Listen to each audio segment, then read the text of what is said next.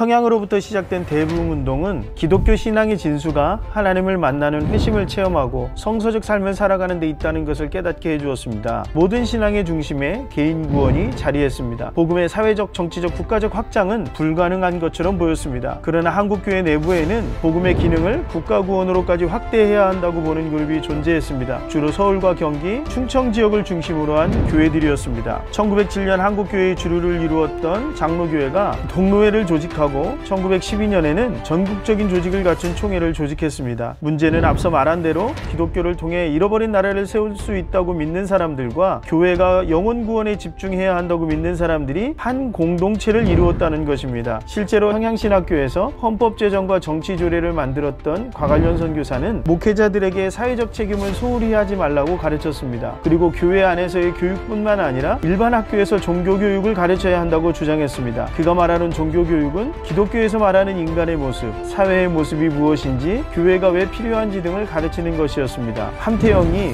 그러한 가르침을 실천한 대표적인 인물이었습니다. 함태영은 과관련의 비서였고 1915년 평양신학교를 입학했을 뿐만 아니라 1919년 남대문교회 조사로 있을 때 3.1운동의 기획자로 한국 기독교를 주도했던 인물 중에 한 사람이었습니다. 그는 1923년 조선예수교 장로회 총회장을 역임했고 1952년에 대한민국의 제3대 부통령에 임명됐을 정도로 교회와 신앙 그리고 국가 정치의 문제에 다리를 놓았던 인물로 평가할 수 있는 사람이었습니다. 한국 교회의 정체성을 가장 잘 보여주는 인물이 바로 함태영이었던 것입니다. 복음은 사회로 확장되어야 했고 당시의 한국인들에게 사회와 국가의 구원은 독립을 의미하는 것이었습니다. 교회는 학교와 유치원을 세우는 것을 당연하게 여겼고 아이들에게 기독교의 이상을 가르치는 것을 사명으로 여겼습니다. 자연스럽게 하나님을 만나고 기독 교 신앙을 고백한 사람들은 국가 구원, 당시로서는 독립에 대한 이상을 가질 수 있었고 독립이 된 이후에 어떤 국가를 만들어야 하는지에 대한 의식을 가지고 있었습니다. 뿐만 아니라 기독교가 추구하는 국가의 이상을 자유민주주의 국가, 더 정확하게는 기독교적 민주주의 국가를 건설하는 것으로 이해하기 시작했습니다. 1910년부터 1919년까지 일제의 무단 통치로 모든 자유가 박탈되고 억압되어 있을 때 한국인들에게 자유와 정의를 가르치고 있었던 곳은 교회와 교회가 세운 사립학교들이 유일했습니다. 개인 구원을 통해 자신이 자유로운 존재라는 사실을 깨달았던 한국교회 교인들은 하나님께서 부여해 주시는 사명을 따라 살아야 한다는 사실을 자각했습니다. 그 사명은 국가적인 사명으로 인식하는 것도 당연했습니다. 특히 한국 장로교회는 개인 구원과 국가 구원이 나누어지는 것이 아니라 함께 병립되어 있었습니다. 그것은 복음을 확장시키는 것을 사명으로 알았기 때문이었습니다. 이는 절대 빈곤과 식민지 지배, 전쟁, 독재에 시달렸던 한국 사회 의 구성원들에게는 특별하게 받아들여졌고 가장 근대적인 그룹이 한국교회라고 인식하게 만들어 주었습니다. 개인의 영혼 구원과 복음적 인간의 구현 그리고 국가적 책임과 사명 의식은